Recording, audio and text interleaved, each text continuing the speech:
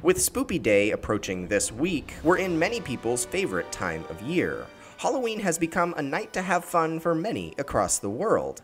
Many people's favorite activity is carving pumpkins into jack o' lanterns. But why are they even called that? The name jack o' lantern makes a little sense. After all, the pumpkin has a face. I guess his name is Jack. And usually there's a light inside. That's the o lantern part. Well, I, I guess that solves it then. Wait, wait, wait. There's, there's probably more to the story. When you actually stop and think about it, that explanation falls a little bit short. Why is the pumpkin's name Jack? And why is the light called an O-lantern? So many questions that we need answers to. The term jack-o'-lantern actually dates back to 1663, and it had nothing to do with modern day's spooky holiday. It originally referred to a man with a lantern, or someone who is a night watchman.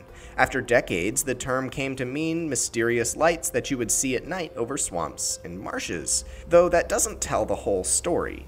As lore around the night watchman lights changed through generations, these ghost lights took on new names like Hinky Punks, Fairy Lights, Fool's Fire, and my personal favorite, Corpse Candles. These lights in swamps and bogs weren't ghosts, though. There was actually a scientific explanation. Gases from decomposing plant matter would seep up through the moist ground and ignite as they came into contact with electricity or heat. We know this now, but people back in the day didn't have that explanation. In Ireland, we have records as far back as the 1500s that attribute these lights to a grumpy old man named Jack. And as we mentioned before, there's more to that story. Grumpy and Stingy Jack lived out in the swamp. One night, he got tired of drinking on his own, so he invited the devil out for a glass. Stingy Jack didn't want to foot the bill for the devil's liquor, though, so he convinced the devil to turn himself into a coin. Stay with me here. Apparently, 16th century Irish lore can get a little bit weird. But back to the story.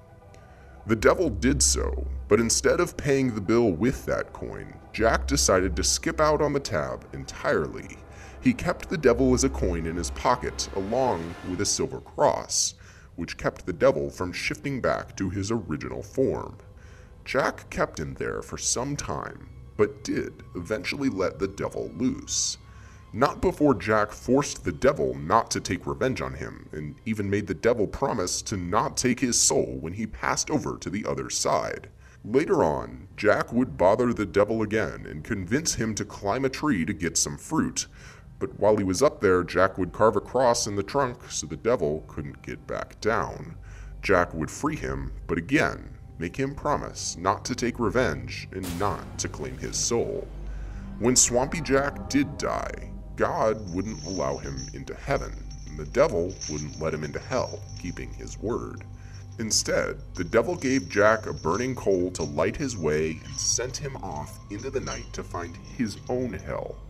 Jack put the coal in a carved out turnip and has been roaming the earth ever since, according to legend.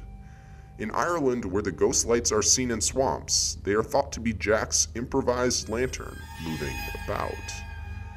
These lights were named Jack of the Lantern, turning eventually into Jack o' Lantern.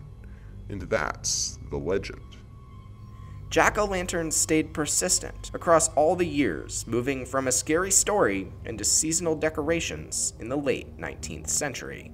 So that's the story of jack-o'-lanterns. Happy Halloween.